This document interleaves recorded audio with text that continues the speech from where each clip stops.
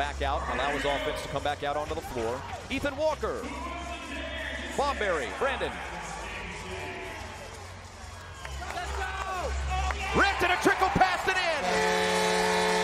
Ethan Walker, and that's the one the Swarm needed. Nice second move. No home there. Colton Watkinson scoreless so far. There it is. Almost a no-look shot.